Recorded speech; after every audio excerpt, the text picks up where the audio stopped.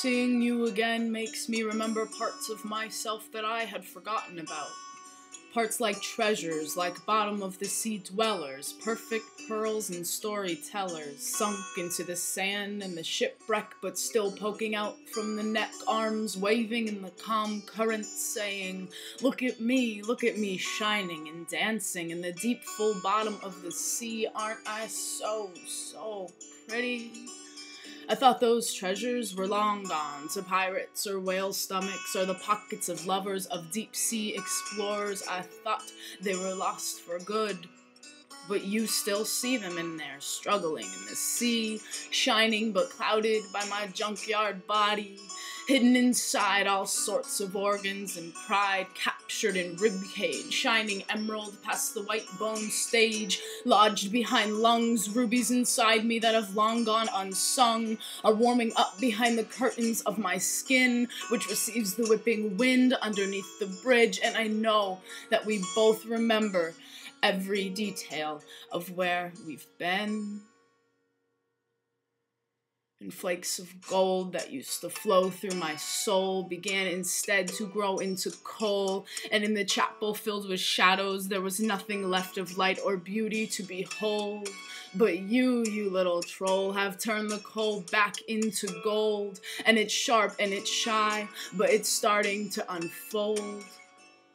and the sunshine in my belly that had grown into tragedy, so perpetually overcast until my midsection resembled a cloud of poisonous gas, has begun peeking through the pollution to feed the lawns that are my limbs, as if saying, I know I've been gone, but I'm back with yellow and hummingbird hymns. And the grass is saying, Yo, man, if you want, you can tell me where you've been, but it's just really good to be warm again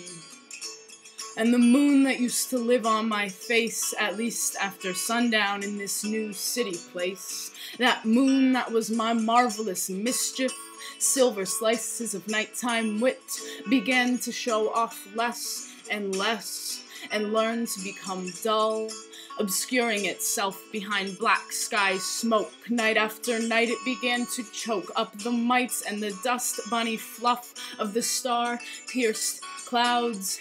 even the tiniest dots in the heavens were outshining my moon face, like little earrings, still somehow managing to sparkle through the endlessly impossible, intertwining thick wind blown wisps of hair on the freshly jeweled ears of a six year old girl.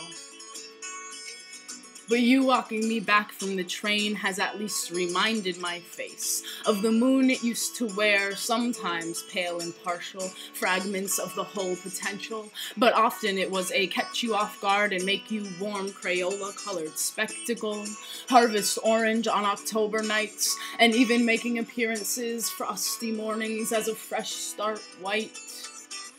You know, you've never tried to take my treasures from within me, have never tried to steal the only things that are shining, have never wanted to keep my beauty only for your own collection of showcase scenery. You have always just sweetly pointed them out to me, have lifted the kidneys and shown me the stones that lay underneath. Let me explore on my own while you teach lectures on what is special about every rock inside the landscape of my being and you have never kept my story anything but safer than the ordinary. Tucked away inside layers of coached breathing, my tale takes on a new meaning, one of less guilt ridden remembering, and it stays closed between the bindings, dog eared pages sometimes unwinding, and trying to find the right words and the right timing to tell of the trauma that was rendered drama, but